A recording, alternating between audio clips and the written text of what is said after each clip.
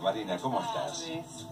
¿Cómo estás? Siempre un gusto, ¿eh? Sí, por supuesto. Bueno, bienvenido el Pasajero TV a bancarse a esta ciudad de Fangio. Acá nos está eh, compartiendo, estamos compartiendo este momento con él. Cuando nosotros habíamos estado por acá no estaba.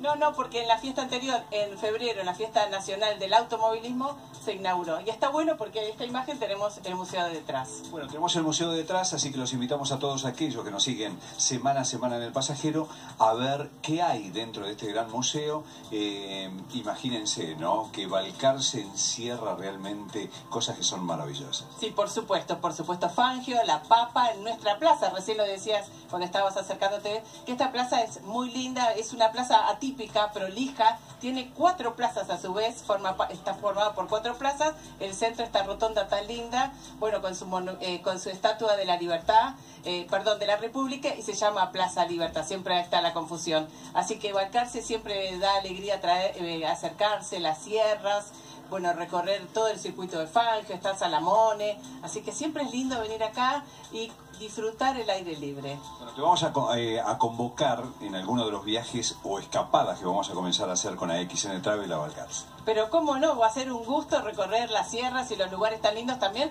como en la Sierra La Barrosa y en la Laguna La Brava. Me da un poco de miedo porque hay algo diabólico ahí, ¿no? Sí, hay toda una leyenda y el agua y todo eso, pero bueno... El eh, lo metió la cola. Ah, ese es el de la Sierra La Barrosa. Es la otra también leyenda medio extraña y medio con miedo de la, de la, ya de la Sierra La, eh, la Brava y de su laguna.